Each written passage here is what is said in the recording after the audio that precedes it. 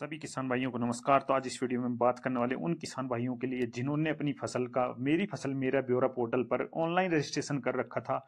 उनको अभी जो हरियाणा के किसान हैं, जिन्होंने बाजरे का रजिस्ट्रेशन किया था खरीफ की फ़सल में, उनको बावांतर भरपाई के पैसे को लेके बहुत सारे मेरे पास कमेंट आ रहे हैं कि उनको बाजरे का पैसा मिलेगा कि नहीं मिलेगा, बावांतर का पैसा।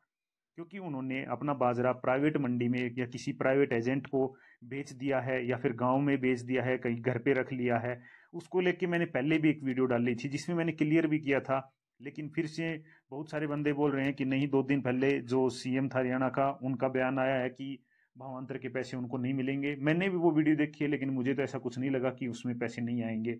और मैं अभी आपको एक, जो अपने कृषि मंत्री है, जेपी दलाल जी, उनका वीडियो भी मैं आपको अभी इस वीडियो के एंड में दिखाऊँगा। उसमें तो उन्होंने क्लियरली बोल रखा है, मैंने सीएम का वीडियो भी पहले डाला हुआ है, जिसमें उन्होंने क्लियरली बोला था कि किसानों को चिंता करने की ज़रूरत नहीं है, उनको भावांतर का पैसा सभी को मिलेगा जिन्होंने मेरी फ़सल मेरे पोर्टल पर रजिस्ट्रेशन कर रखा है।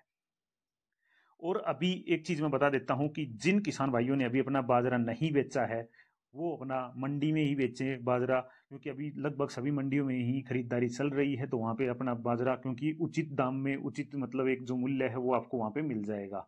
बाईस सौ रुपये और तीन सौ रुपये जो भावांतर के, वो आपको मिल जाएँगे।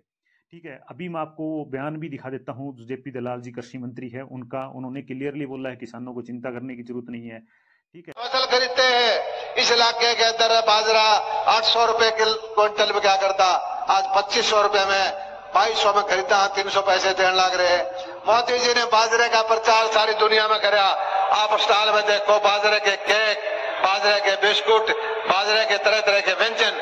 क्यों कर रहे हैं बाजरे का प्रचार, आपके किसान की आमदनी, भारत के किसान की आमदनी बढ़ाने के लिए। दुनिया के बड़े बड़े राज्य दर्शाते हैं, मोदी जी उनको बाजरे के केक खिलाते हैं। इसलिए कि उनके वहाँ बाजरा नहीं होता। बाजरा हमारे राजस्थान में, हिसार में, फतेहाबाद में, आदमपुर में दक्षिण हरियाणा में होता है।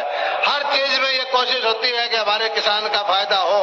भावांतर भरपाई की बात चल रही है। सबसे बड़ी मंडी बनाने की हम कोशिश कर रहे हैं। भारत के नहीं एशिया की सबसे बड़ी मंडी, दस हज़ार करोड़ की लागत से कन्नौर के अंदर शुरू काम हो चुका है, होगा वो भावांतर भरपाई से पैसा किसानों के खाते में डाल देंगे। जिसकी खरीद हो जाएगी, उसको बाजरा खरीद करके अंदर भरपाई देंगे। बाकी का जिसका भी रजिस्टर्ड फार्मर होगा मेरी फ़सल मेरा पर जिसने चढ़ा दी है उसके खाते में भी हम सीधा भावांतर भरपाई का पैसा देंगे। तो सर मतलब अभी जिन किसानों ने बाजरे की फ़सल निकाल ली है या जो निकालने की तैयारी में है वो अब मंडी में फ़सल लेकर आ सकते हैं और आपने जो केंद्र सरकार से ढाई लाख मीट्रिक टन की अनुमति मिली है उसके मुताबिक एफेड के ज़रिए खरीद करेंगे। जी हम एफेड को बोल दिया है मंडी बोर्ड को तैयारी कर ली है और एक आध दिन में खरीद शुरू हो जाएगी। और जिस भाव से भी वो खरीदेगा फिर कब तो बाकी का जो डिफरेंस होगा वो उनके खाते में सीधा किसान के खाते में डालेंगे।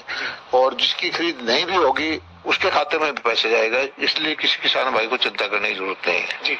सर बाकी